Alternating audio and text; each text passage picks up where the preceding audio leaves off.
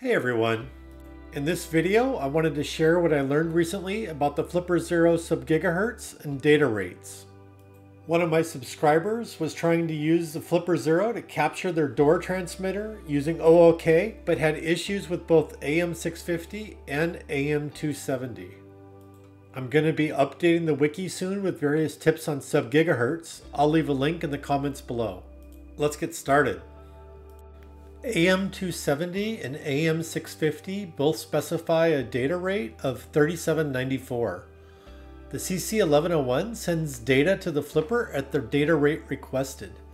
And this means that the measured times of the signals could be off by up to 33 microseconds.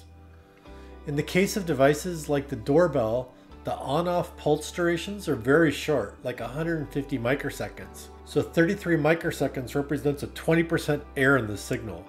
I don't have a wireless doorbell, so to demonstrate the issue, I'm using a second flipper and I'm gonna send an on with a thousand microseconds and then an off for 500 and then an on for a thousand, off for 501, an on for a thousand, off for 502, and continue up until 550 microseconds.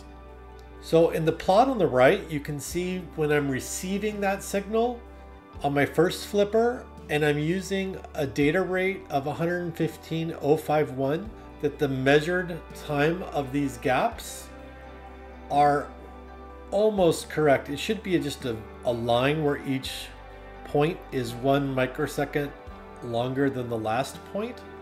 Um, and that's clearly not the case. There's some errors in here, but you definitely can see that trend line. In the plot on the left, I'm just using AM650, which has that data rate of 3794. And again, we should be starting at 500 and each line, each point should be getting one microsecond longer. But instead, you see the 33 microseconds of error. And so these points are pulled up or pushed down as we go. This low data rate makes it very difficult to see what the actual signal is. The default data rate for the CC1101 is 115.051, so I'm not sure why AM650 and AM270 chose such a low data rate. Using a faster data rate makes the capture times more accurate, and then when you have more accurate timings when the flipper sends the signal, it will send something more closer to the original. Whereas when we're sending this signal, it was not at all looking like what was expected. So we want to make a preset for AM650, but we want to change the data rate to be 115.051, which is the default values. So for that in register 11, we're going to want a value of 0x22 decimal 34.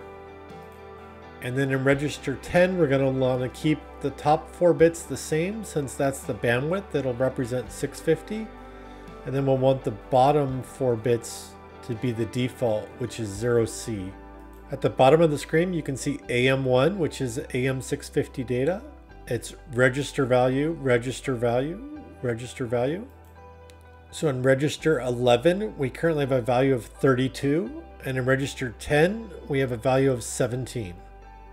So I'll bring up the calculator, make sure we're in programmer mode, go into hex, and then we'll type in a value of 17, which is what's in register 10 currently. And we can see that in binary it's 00, zero and then 01, and then 0111. So 0001 is our bandwidth.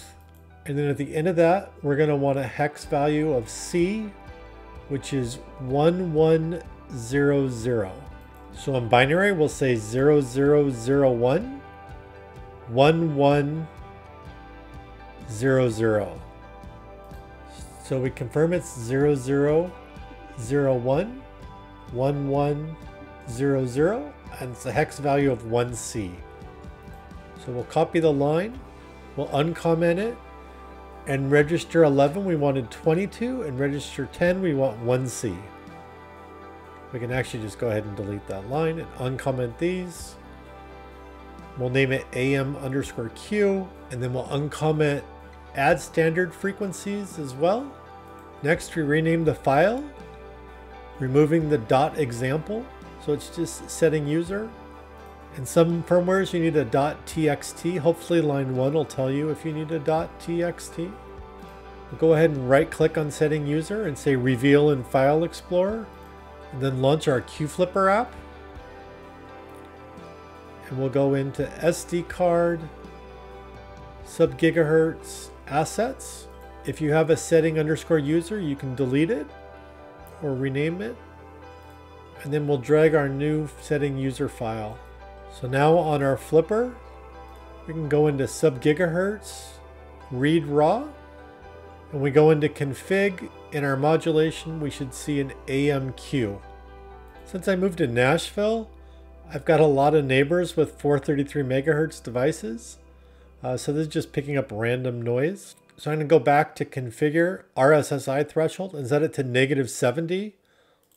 I found this value helps me not pick up so many devices. So now I'll go ahead and transmit that signal that I care about. There you go. And then I'll go ahead and stop and save the file. So I'll just call the file demo and save. And then over on my PC, we'll go ahead and go up into the sub-gigahertz folder and find the demo file. And we'll save that locally on my PC. And then we will open that into Visual Studio Code. So as we look at this raw file, especially, um, we'll just jump down to the middle of it here. We're at 1000 and then a negative 532. That's probably 533 should have been, 534. This probably should have been a 535, 536, 537, 538, 539, 540, 541, 542, 3. So you can see the numbers are a lot more accurate. Um, there may be a little bit of inaccuracy in my transmissions as well. Hopefully you found this video helpful. Please like and subscribe and leave any questions below.